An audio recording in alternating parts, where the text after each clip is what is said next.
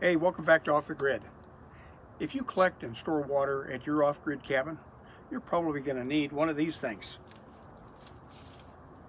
And you're going to need a couple of these. And you're going to need a bottle of this. In this episode, we're going to talk about what these things are and why you need them. In an earlier episode, we talked about how we collect water on the island. What we didn't talk about was the problems that you can run into when water is stored this way for long periods of time. The problems we're talking about are first of all smell,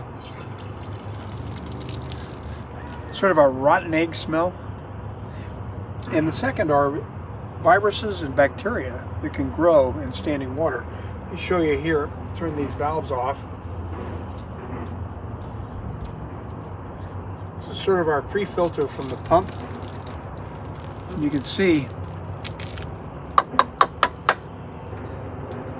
this is just in the last week. And if you store your water in a tank, this is probably going to happen no matter how careful you are. And warm summers are going to make it happen even faster. Now, there are three reasons for this. First, if you're collecting water from the roof, you're also collecting anything else that is on the roof, like bird poop and leaves and dirt. Second, whatever's in your rain gutters is going to add to the mix. Third, standing water, whether it's in a rain barrel or a cistern like this, and no matter how well you cover it or try to cover it, is an oasis for mosquitoes and bugs looking for a place to lay their eggs. And they're going to find their way in. Mix all this stuff together, and something's bound to happen. Peek in your storage tank. And the first thing you're probably going to notice is what looks like small, very active aquatic inchworms. Those are probably mosquito larvae. The second thing you'll probably notice is that rotten egg smell that I mentioned. Now, this is, this is something that's called anaerobic fermentation. It's a very natural process that occurs when all that junk in our tank starts growing bacteria. The bacteria consume the oxygen in the water, and the byproduct is hydrogen sulfide. That's what we're smelling, that rotten egg smell. So, what to do about it? Number one is do not drink the water, even if it looks pretty clear. Don't shower with it, don't brush your teeth with it, don't do anything with it until you purify it. If you drink it, it probably won't kill you, but it can make you very sick. Step two is to kill the bugs. And the best way to do that is with bleach. But don't use household bleach. Look for a bleach that says disinfectant. The active ingredient is sodium hypochlorite, and it comes in either 5% solution or an 8.25% solution. We use about a quarter cup to disinfect this 400 gallon tank. I'm going to show you a chart from the EPA that gives you guidelines for disinfecting water with bleach.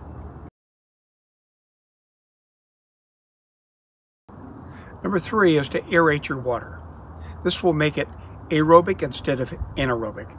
That's bad for the bugs, but it's good for you because it makes the smell go away.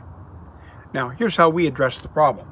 We built this small unit that we stick inside our water tank. It's mounted on a steel rod, mounted on a sleeve so we can slide it up and down when we set it inside the tank. We simply adjust the hose clamp here, depending on water level. The bilge pump here you can pick up at a hardware store or a boating store, just 3 amps. It's connected to a rubber hose. When we set it inside the tank, it jets water into the top of the cistern, and it, as it falls down, it aerates the water.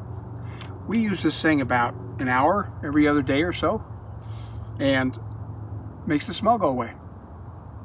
Step five is to filter your water. Now we have an outside filter, which takes a cartridge that is uh, either a paper filter or a porous filter like this. It takes the solids out of the water. Then once it gets inside the house, we use a 0.5 micron charcoal filter. This takes out 99.9% of the bugs. As a final step, we run the water past a UV light, which basically sterilizes the water, killing any remaining viruses. Step five is clean up your act before the next rainstorm. Keep your gutters clean. Dump your first load of water, which is probably washed debris from your on your roof back into the tank. And clean out your cistern at least once a year to get the accumulated gunk off the bottom. Now, if all this talk about mosquitoes and parasites and anaerobic bacteria make you a little squeamish, even after you've been through the process of purifying your water, go down to the local grocery store. They've got a reverse osmosis machine. You can fill a bottle like this for cheap and use it for your drinking. Even we do this in the middle of summer for our drinking water. We'll see you on our next trip across the water. Thanks for watching.